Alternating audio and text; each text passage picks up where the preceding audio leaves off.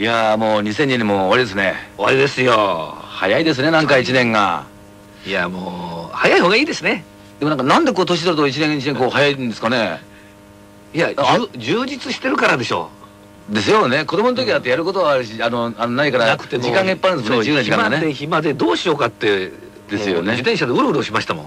今だって忙しいですもんね。することすることいっぱいあるもん むしろ24時間で足んないぐらいですもんね。そうですよね。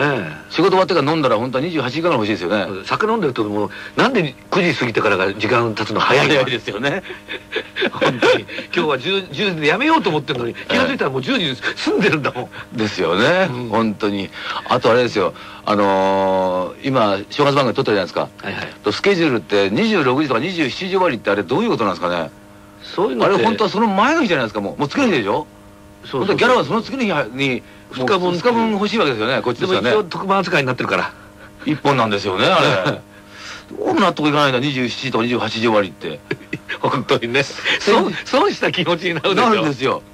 先日もねあのバカ殿撮ったんですよね。ええ。であの午後の1時から始まってね終わったのが朝の5時半でしたよ。5時半。えあんだえでもうしょうがないからってダチョウ倶楽部と飲みながら、うん。えっとね5時半からで8時まで飲みました楽屋で、楽屋でね。楽屋でですよ。さすがにそうね。もうやってませんからね店ね。秋田屋とかあの浜松町のあたり行ったらまだかろうじて店じまいしてるかなっていう感じかな。でしょ？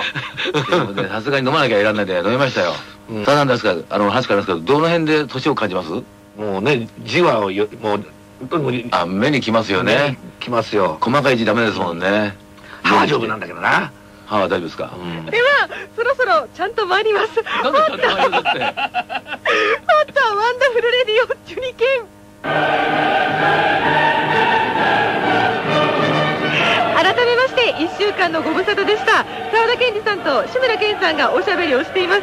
パッターワンダフルレディオジュニケンでも白髪は上髪の毛だったら目につくからね別にあ気にしてもわかるなと思うんですけど、したらったらパンツ履いてるんだしいそのままでもいいのにと思っちゃいます脱ぐ時もあるんじゃないかお前。いやだって12本なんでしょうね。だったらいいじゃない。お前は志村さんの場合はほらいろいろバカだなお前。ななんでわかる？ななんんなんでエッチする時にな女性がそれ見た時にうん。あって言うだろお前。えあ白髪だって？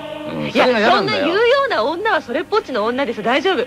バカなんで私がなんで私が励ましてるのかわかんないんですけどでも中にはねうん。やっぱりちゃんとあのきれいあの整理しといた方がいいとか言うかもしれないもんね。ですよね。そうえーじゃあ毎回毎回トイレとか入った時にん。チェックするんですか？まあ多少はね最初のうちだけだけどね。うん初めて発見した時はショックだったよ。だって30代だもん。早いですねでもね。うん。うん。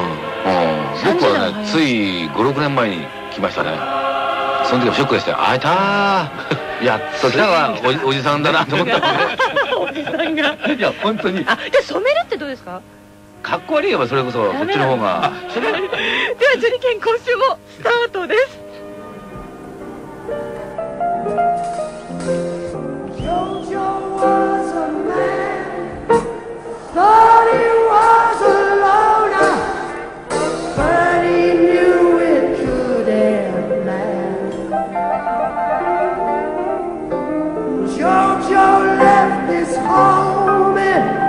you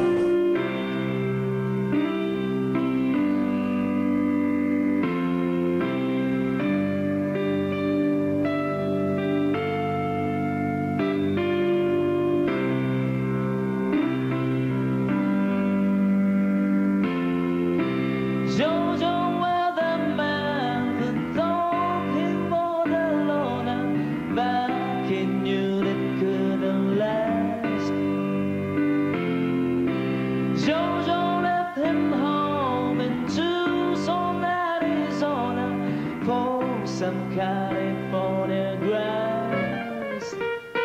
Your mama's waiting. Get back, Jojo. All right.